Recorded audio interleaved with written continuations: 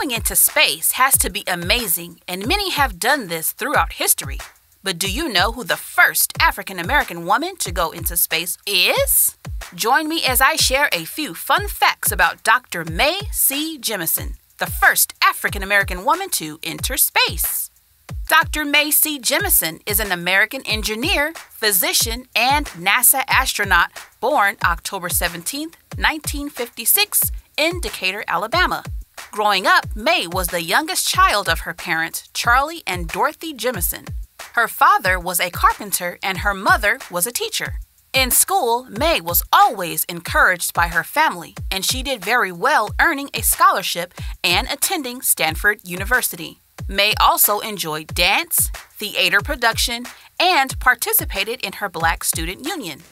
Mae would go on to earn her degree in chemical engineering and later would earn her medical degree working as a general practitioner.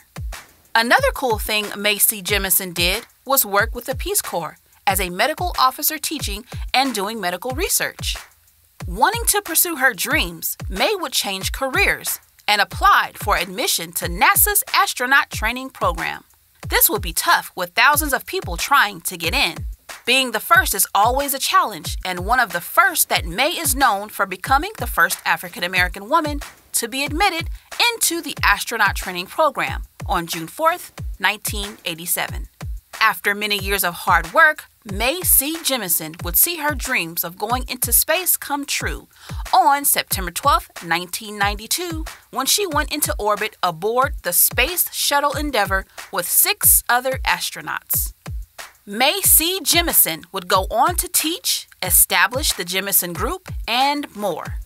So it just goes to show all things are possible when chasing your dreams.